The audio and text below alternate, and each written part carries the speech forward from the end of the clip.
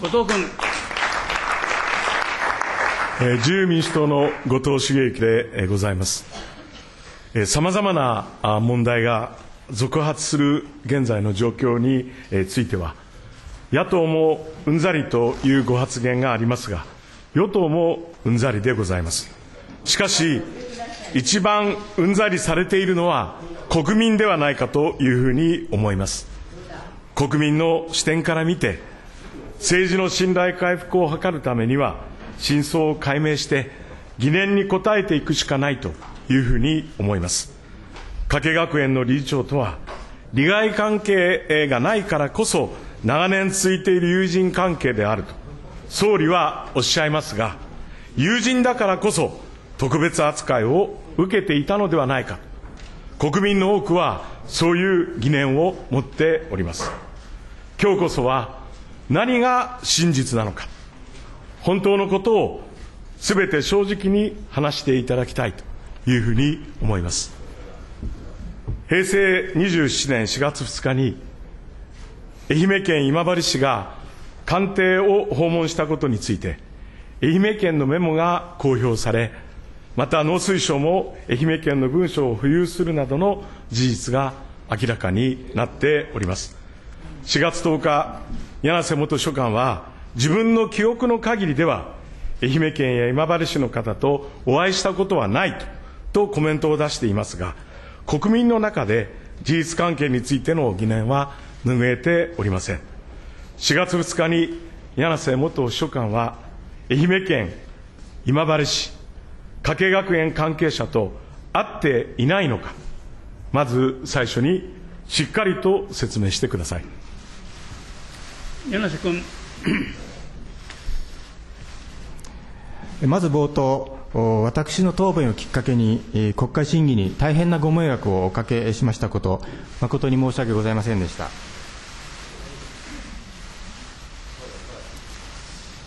その上で、あのご質問の点でございますけれども、えー加計学園の事務局の方から面会の申し入れがありまして、4月頃に、えーその後のあの報道などを拝見すると、おそらくこれが4月2日だったのではないかと思いますけれども、えーか加計学園の方、あその関係者の方と面会をいたしました。えーその面会の時には、相手方はあの10人近くの随分の大勢で、えーいらっしゃいました。そのうち、えー加計学園の事務局に同行されました、獣医学部の、獣医学の専門家の元東大教授とおっしゃっている方がですね、えー世界の獣医学教育の数勢は感染症対策にシフトしているのに、日本は全くついていっていないと。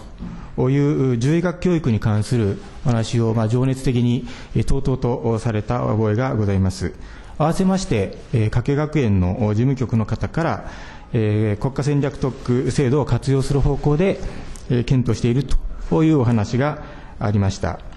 面会では、あの、メンテーブルの真ん中にいらっしゃいました、その元東大教授の方と、が、まあ、ほとんどお話になっていて、えーそれと、まあ、加計学園の、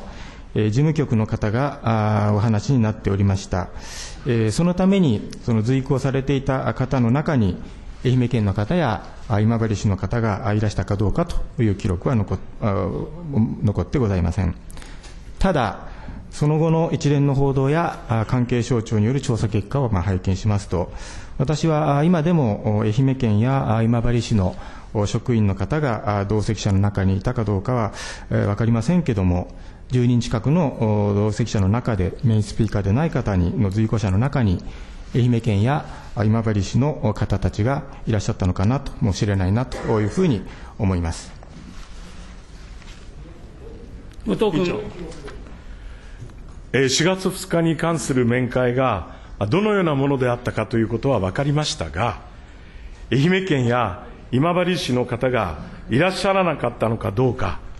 本当に確認をされなかったのでしょうか、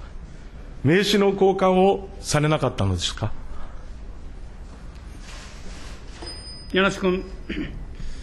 先ほど申し上げましたけれども、えほとんどお話になっていたのは、このメインテーブルの真ん中におられた元東大教授の方と、加計学園の事務局の方でございまして、え随行者の中に、え愛媛県の方、今治市の方がいらっしゃったかどうかは私には分かりません。そのため、昨年の国会では、今治市の職員に会いまし会ったかというご質問に対しまして、私からは、え、お会いした記憶はございません。あるいは、私の記憶をたどる限りお会いしていません。あるいは、覚えていないので、会っていたとも会っていないとも申し上げようがございませんというふうなお答えをいたしました。私としましては、今治市とやあの愛媛県の方とお会いしたかお会いしていないかの定かな記憶がないのに、必ずお会いしましたとか、絶対にお会いしてませんとか申し上げるのはいずれの場合も嘘になる可能性があると思いましたので、このように申し上げました。なお、随行者の方々全員と名刺交換をしたかどうかは分かりません。えー、私、あの普段からあの失礼にならないように、まあ、自分から名を名乗って、えー、名刺交換をするように心がけて、えー、おりますが、えー、多くの方とお会いするために、交換した名刺の中で、えー、保存するのはまあごく一部でございます。今回の件で、えー、私が保存している名刺の中に、今治市や愛媛県の方の名刺はございませんでした。後藤君。えー、家計学園の関係者の方と会ったという認識だったということですが、ではなぜ柳瀬元秘書官は、家計学園関係者の方と知り合いになられたのでしょうか。知り合った時から4月の面会までの経緯を教えてください。柳瀬参考人。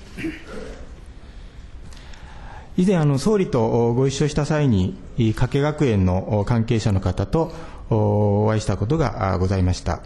その後、えー、平成の27年の2月から3月頃だったと思いますけれども、えー、加計学園の事務局の方から上京する際にお伺いしたいという申し入れがありまして、えー、官邸でお会いをしました。その際、えー、獣医学部が過去50年余り新設されていないこと、四国には鳥インフルエンザなどの感染症対応の獣医が不足していること、過去、構造改革特区で今治市から何度も獣医学部新設を申請してきているが、実現していないことというふうなお話があったと思います。その際に、従来の構造改革特区とは別に、新たに国家戦略特区制度が始まったという話も出たようにも思いますけれども、その時には特に具体的な話にはならなかったように思います。この時に50年以上も獣医学部が新設されていないというお話を伺いまして、強く違和感を覚えました。しかし、まあ、私自身、獣医学部新設については、まあ、詳しくなかったので、まあ、基本的に聞きをいたということだったと思います。その後、あの、夏季学園事務局の方から、まあ、面会の申し入れがありまして、先ほど申しましたように、4月頃、これも多分4月2日だったと思いますけれども、夏季学園の関係者にお会いしました。であのその後、あの、夏季学園の方が一度、あの、今治市が、えー、正式に国家戦略特区の提案を行うことになったというようなお話をされに一回、えー、官邸に、まあ、顔を出されたという記憶もございます。後藤君。えー、総理からの指示ではなく、まあ、個人的に、えー、面識があり、あったということだというふうに、えー、承りましたが、加計学園関係者との最初の面会で、50年以上も獣医学部が新設されていないことを聞いたとのことでございますが、だとすれば、4月に2回目に、えー、会うまでに、事前に何か調べたり、あるいは指示をしたりしたことがあったのではないですか？柳瀬参考人。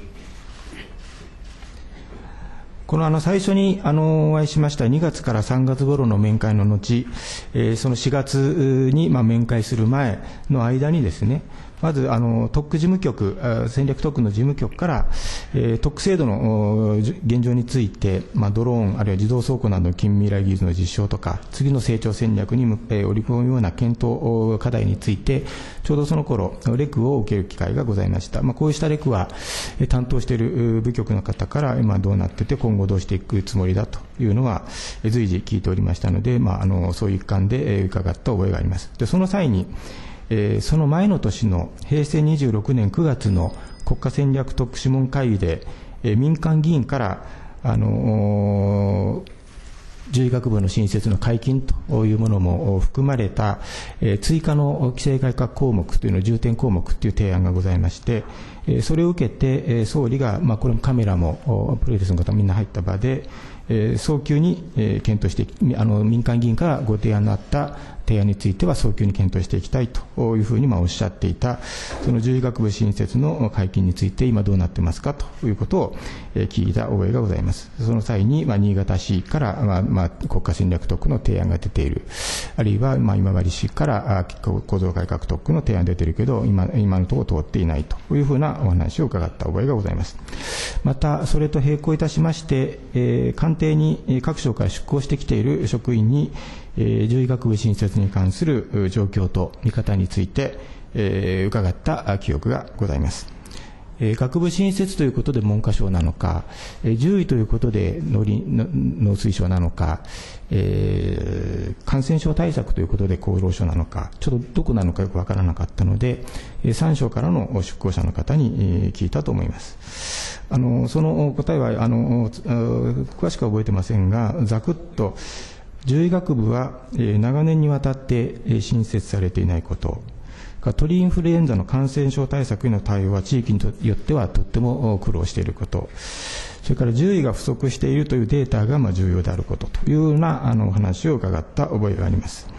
なぜ、えー何年にも長年にわたって獣医学部にの新設が認められてこなかったかという肝心の点については、えーよまあ、よくわからないなというふうなあ印象を持った記憶がございます。えーまあ、あのその際に個別の自治体とか事業者について、えー各省に何か指示をしたりお願いをしたことはございません。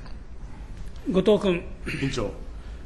えー4月の面会、えー当日以降、えー担当省庁等との間でやり取りはされましたか？や柳瀬参考人、あの4月の面会の時に、えー加計学園から、えー内閣府のお特区事務局とはあすでに面会したというお話でございましたので、私から特に、えー内閣府の方にえー連絡した記憶はございません。また具体的な指示もしてございません。またあの各省との間でもお本件をやり取りした覚えはございません。その後、内閣府からは、平成27年6月末に、成長戦略全体を閣議決定する際に、14項目の国家戦略特区関連の閣議決定事項という説明を受けました。その際、14項目のうちの一つとして、獣医学部新設の制度論の検討を年度内に行うという、いわゆる石破4条件を記載する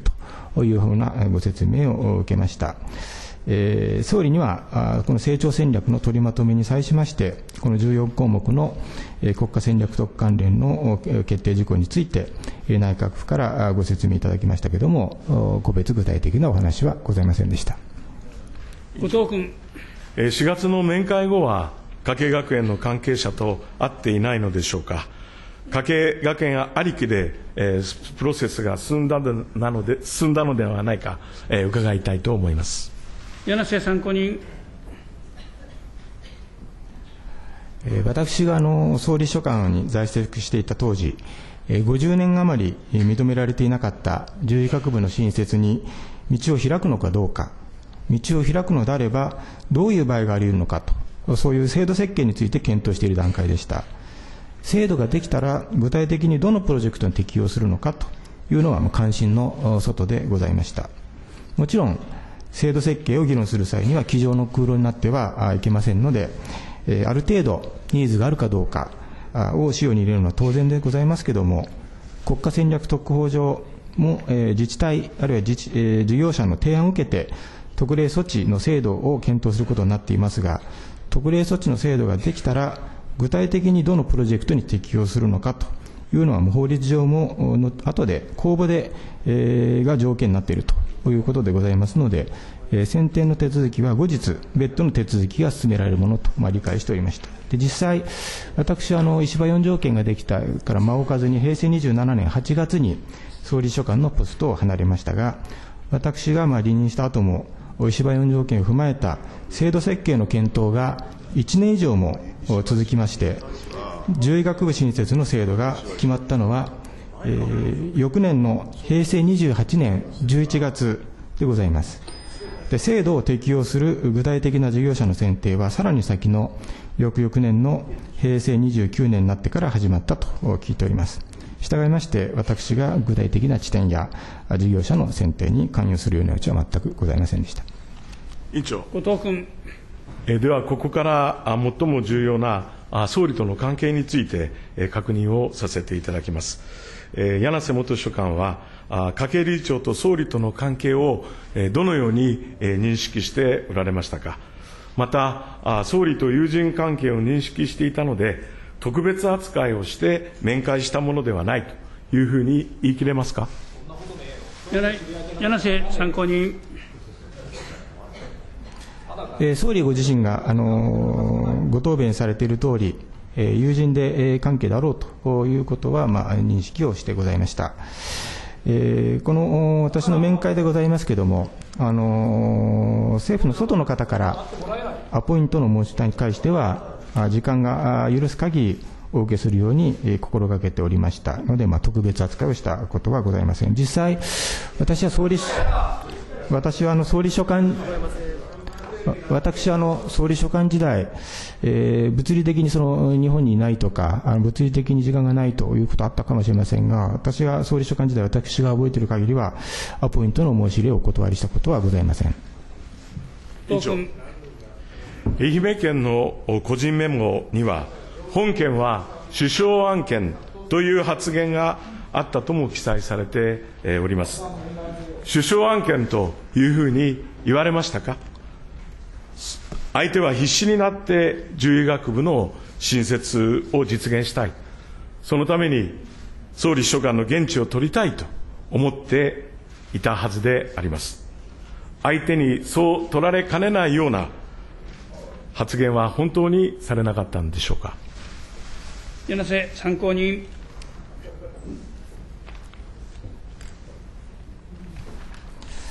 私の方からは、国家戦略特区制度は安倍政権の成長戦略の看板政策として創設した制度であるということはご説明いたしました。でその前年、平成26年9月の特区諮問会議におきまして、民間有識者議員から、当面の重要課題の追加の規制改革分野事項についてというものが提案されまして、そのうちの1項目に、獣医系大学学部新設の解禁というものが入っておりました。この民間議員の提案に対しまして、総理からは、民間議員の皆様から提示された追加の規制改革の提案について、石破国家戦略担特区担当大臣を中心に、早急に検討していきたいというご発言が、まあ、そのメディアもいる前で、えございました。そのため、面談の中でも、獣医学部新設の解禁は、総理が早急に検討していくと述べている案件であるという趣旨はご紹介したように思います。しかしながら、この今治市の個別プロジェクトが首相案件になるという旨を申し上げるとは思いません。そもそも言葉といたしまして、私は普段から首相という言葉は使わないので、私の発言としてはややちょっと違和感がございます。